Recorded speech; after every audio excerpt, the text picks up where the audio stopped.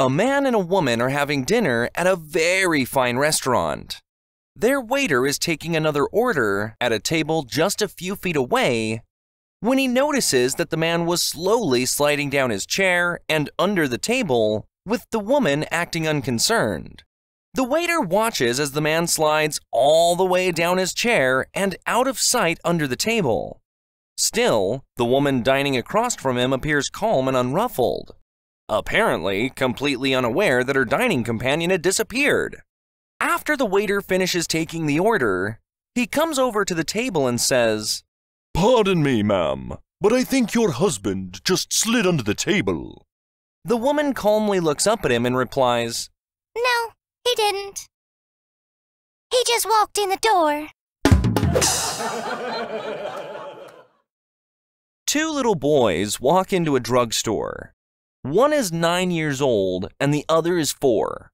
The oldest boy grabs a box of tampons from the shelf and carries it to the register for checkout. The cashier asks, Oh, these must be for your mom. The boy replies, No, not for my mom. The cashier says, Well, they must be for your sister then? The boy replies, No, not for my sister either. The cashier has now become curious. Oh, not for your mom and not for your sister? Then who are they for? The boy replies, They're for my little brother. The cashier is surprised. Your little brother? The boy explains, Well, yeah. They say on TV, if you wear one of these, you can swim or ride a bike. And my little brother can't do either of those things.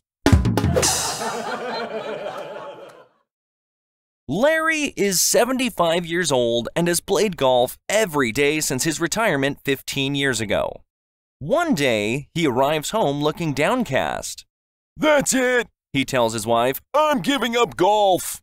My eyesight has become so bad that once I hit the ball, I can't see where it landed. His wife sympathizes with him and makes him a cup of tea. As they sit down, she suggests, Why don't you take my brother with you next time? Oh, that's no good. Larry sighs, Your brother is 85. He can't help. He may be 85, says his wife. but his eyesight is perfect. So the next day, Larry heads off to the golf course with his brother in law. He tees up, takes a mighty swing, and squints down the fairway. He turns to his brother in law and asks, Did you see where the ball went? Of course I did, answers his brother in law. I have perfect eyesight. Well, where did it go? Larry asks. His brother in law replies, I don't remember. A man is dining alone at a fancy restaurant while a beautiful brunette is sitting at the next table. He's been secretly checking her out ever since he arrived, but doesn't have the courage to start talking to her. Suddenly, she sneezes and her glass eye flies out of its socket toward the man. His reflexes kick in and he reaches out, plucks it out of the air, and hands it back to her. The woman is mortified. Oh my, I'm so sorry. She says as she pops her eye back into place. Let me buy your dinner to make it up to you. So, he joins her at her table, and they enjoy a wonderful meal together. Afterwards, they go to the theater, followed by drinks at a bar. They talk, they laugh. She shares her deepest dreams, and he shares his. After paying for everything, she asks him if he would like to come to her place for a nightcap. He says yes, and they return to her place. He ends up staying the night, and the next morning, she cooks a gourmet meal with all the trimmings. The guy is amazed at how everything has been so perfect and how incredible this woman is. He can't believe his luck. You know, he says, you are the perfect woman. Are you this nice to every guy you meet? No, She replies. actually. You just happened to catch my eye. Betty was a little old lady who was always cheerful and quite happy with her life. But lately, she had started having a bit of a problem. One day, she goes to the doctor and says, I have this problem with gas, but It really doesn't bother me too much. My farts never smell and are always silent. The doctor replies, Is that so? Betty continues, Yes, as a matter of fact, I've farted at least 20 times since I've been here in your office. You didn't know I was farting because they don't smell and are silent. The doctor says, I see. Take these pills and come back to see me next week. Betty goes home and takes her pills as prescribed, and suddenly she starts seeing some big changes in her everyday life. The next week, Betty goes back to the doctor. Doctor, She says, I don't know what the hell you gave me, but now my farts, although still silent, stink terribly. The doctor nods and says, Good. Now that we've cleared up your sinuses, let's work on your hearing.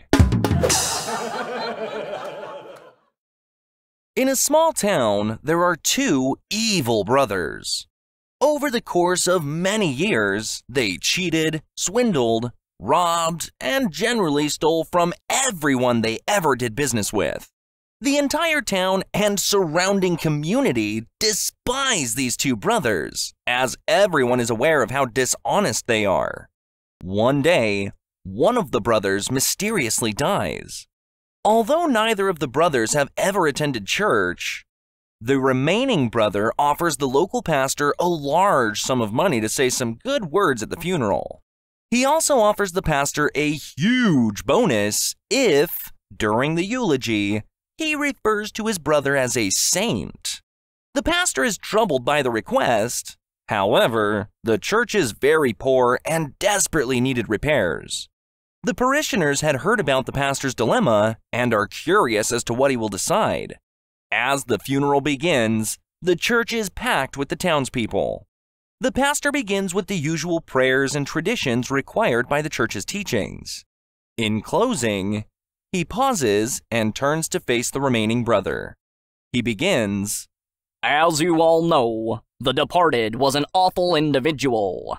He robbed, cheated, swindled, and stole from everyone he did business with. However, compared to his brother, he was a saint. A blonde walks into a bank in New York City and asks for the loan officer. She says she's going to Europe on business for two weeks and needs to borrow $5,000. The bank officer says the bank will need some kind of security for the loan, so the blonde hands over the keys to a new Rolls Royce. The car is parked on the street in front of the bank. She has the title, and everything checks out. The bank agrees to accept the car as collateral for the loan. The bank's president and its officers all enjoy a good laugh at the blonde for using a $250,000 Rolls Royce as collateral against a $5,000 loan. An employee of the bank then drives the Rolls into the bank's underground garage and parks it there. Two weeks later, the blonde returns to repay the $5,000 and $15 interest. The loan officer says, Miss, we are very happy to have had your business, and this transaction has worked out very nicely. But we are a little puzzled.